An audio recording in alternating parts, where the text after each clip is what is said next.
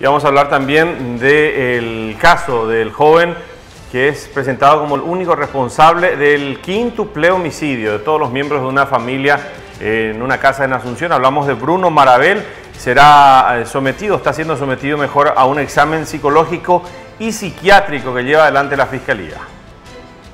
Bruno Marabel, principal sospechoso de haber acabado con la vida de cinco miembros de una misma familia en Asunción en octubre del año pasado, está siendo sometido a estudios psicológicos y psiquiátricos, cuyo informe final estaría en dos semanas, informó el doctor Pablo Lemir, actual director de Medicina Legal y Ciencias Forenses del Ministerio Público. Es un proceso donde interviene por un lado el psiquiatra y por otro lado el psicólogo.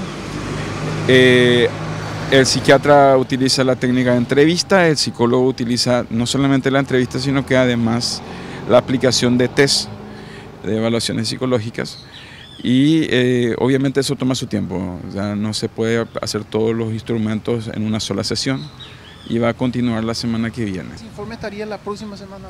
No, una vez que se apliquen todos los test, eh, tenemos un periodo otra vez de una semana para corregir esos test y dar el resultado. El director general de Medicina Legal y Ciencias Forenses del Ministerio Público destacó la importancia de este tipo de estudios. Principalmente eh, saber si, si tiene alguna patología o no de tipo psicológico o psiquiátrico y si esa patología le impide o no entender la antijuricidad de los actos que se le imputan. En caso de que Bruno Marabel presenta algún tipo de patología psiquiátrica o psicológica, podría ser inimputable.